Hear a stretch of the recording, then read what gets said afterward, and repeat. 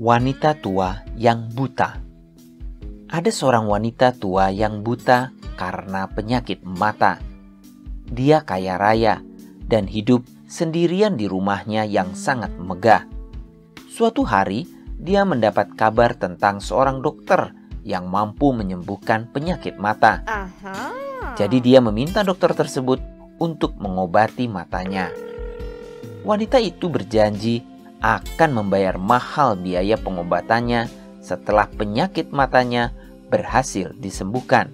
Oh, Dokter pun mulai datang setiap hari untuk memberikan pengobatan. Hmm. Setelah beberapa kali datang ke rumah si wanita tua, dokter ini menyadari bahwa ada banyak barang berharga di ruang tamu si wanita tua. Wanita tua ini tidak bisa melihat dan juga tinggal sendirian.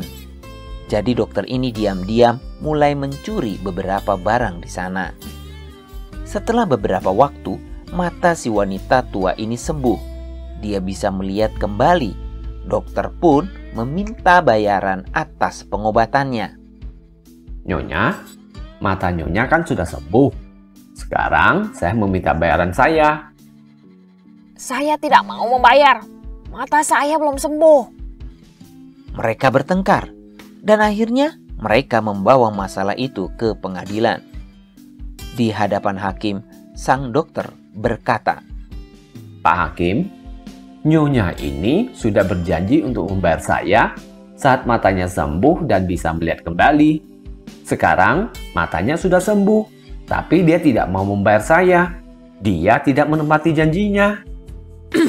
Iya, saya memang berjanji seperti itu. Namun saya belum mau membayar karena mata saya belum sembuh. Apa maksudnya Nyonya? Saat ini juga Nyonya sudah bisa melihat. Apa maksudnya mata Nyonya belum sembuh? Hmm, saya belum sembuh karena saya tidak bisa melihat barang-barang berharga yang ada di ruang tamu saya. hakim memahami duduk perkaranya dan memerintahkan penyelidikan lebih lanjut.